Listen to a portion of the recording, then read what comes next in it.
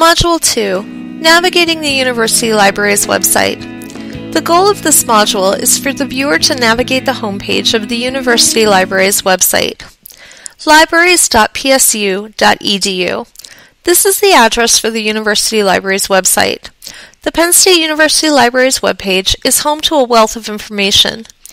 Being able to locate information to answer our patrons' questions is key to providing excellent customer service. Each page of the University Library's website contains the same heading. Clicking on the words Penn State will take you to the university's webpage at www.psu.edu. Clicking on the words University or Libraries will take you to the homepage for the University Libraries. There are also four links on the library's homepage navigation system. The links About, Research, Community, and Ask can be accessed from the navigation area at the top of the web page or by clicking on the links below. You can also access information on any library, branch, or campus by clicking on the link that says Penn State University Libraries Change Library. This link is located below the Penn State and University Libraries logo. Not only are the different branches and campus libraries listed here, but the subject libraries for the Pattee and Paterno Library are also listed here. On the right of the page are also links to access your library accounts, which include your current PSU checkouts and holds, and your ILLiad account, which contains your borrows from other libraries or your interlibrary loan materials. There is also a link to renew your books. Many times, patrons will want to know how long the library is open or what the hours for a branch library are. An easy way to get this information is through the library's homepage. By clicking on the link that resembles a clock, you can access information for the library page you are on. In my case, it is Pattee and Paterno. I can see a calendar view which provides me with the current month's hours, and I can also advance it to future months. The second tab displays the semester hours and exceptions to those hours.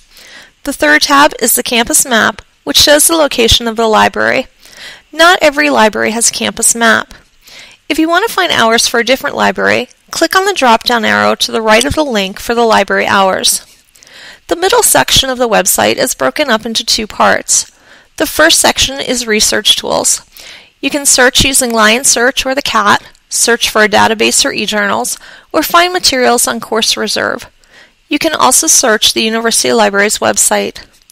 Next to the Research Tools section is the News and Events section. Here a slideshow carousel can be found. By clicking on an image, you will be able to access more information on the topics presented. The bottom section of the website is broken up into location, about, research, community, and ask a librarian.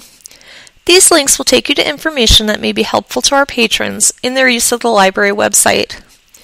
The footer at the bottom of the University Library's website contains links to the library's homepage, Penn State University's homepage, the Web Accessibility Feedback Form, our website feedback form, the site index, the library's intranet, which is available to staff only, Penn State University hotlines, and the main phone number to contact the library.